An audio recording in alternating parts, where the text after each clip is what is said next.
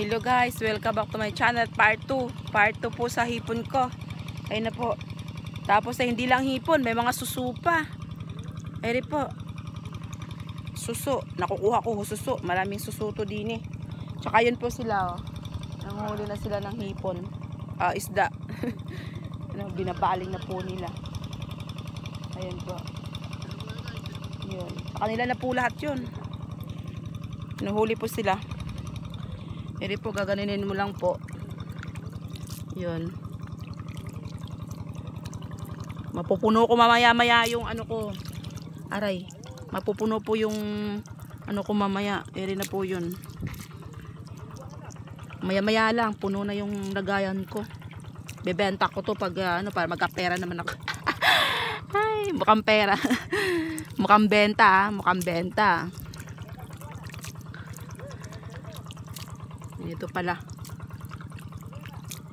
Yan po. Tsaga-tsaga lang tayo. Eh, isang timbak siguro yung mapupuno ko nito. Pagka ano eh, ilalagay ko lang sa rep. Para pag walang ulam, yun. May makukutkot. Yun po. Yung mga isda, tilapia, hito. Yun po yung po sila. Huli po yan. Huli. nag ano sila, nag-harvest po sila ng face fan. Harvest po to ng face fan, hindi lang huli-huli to. Ayun po, may mga marami pang dumadating. Buti nakasama ko dito. Ayun po. Pinupukot na po nila yung mga isda. Marami po kasing isda doon. Ito, dilulong ako sa may mga malapit-lapit lang. Ito, tumatalon-talon yung hipon. Hindi ko alam kung ano gagawin ko nito.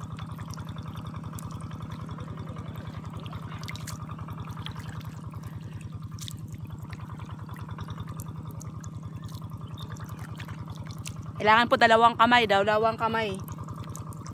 Para mabilis ka. Ayun na po, pinupukot. pinupukot na po nila yung ano isda.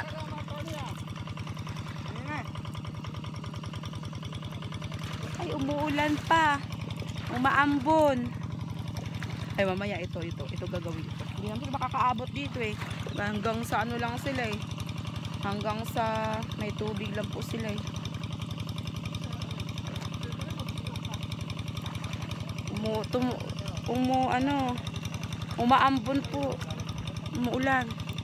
Wala namang ano namang araw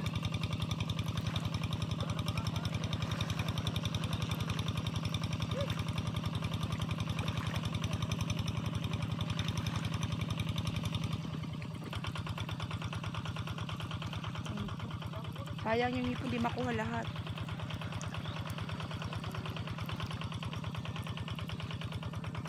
Hindi pa nga ako nakapuno eh. Ayun na. Dami. Ayun na po. Ano-ano lang tayo. Baka ma ano dito yun sa may mga manghuhuli ng ano. sayang naman to.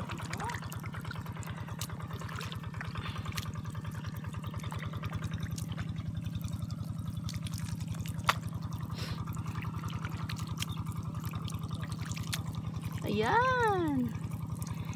Ayun, mga patay na shell. Wala nang laman yan. Ayun. Mamaya, part 3. May part 3 pa ako. E ano ko yung mga huli nilang isda. Gaano karami.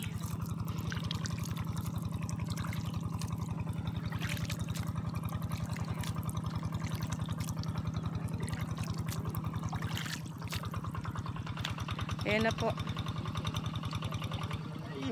Ayan na. Pinupukot nila yung mga mga um, mga bulig, mga tilapia at saka hito. Pero hindi naman po nakukuha po lahat yung mga ano, kailangan pa may lumulusob na mag ano ipamimigay na yan pag eh, ano, tapos na, tapos na yung part sa kanila, yung may-ari ng, ano, may-ari ng fish pan. Mamaya-maya, maraming mga tao dyan na, mamaya-maya po maraming tao na pumupunta dyan, manghuli ng isda. Yung mga natitira-tira, sayang naman din po yun.